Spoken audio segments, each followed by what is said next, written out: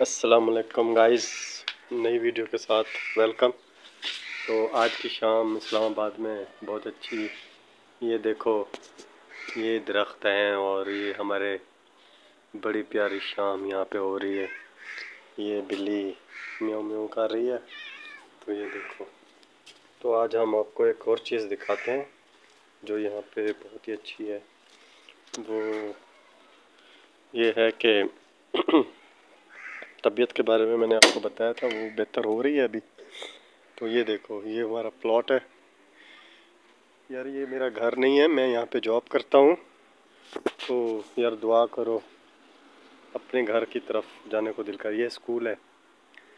ये कचरा कूड़ा पड़ा हुआ है, और वो मस्जिद है। मस्जिद यहाँ से बहुत दूर है। वो मस्जिद है।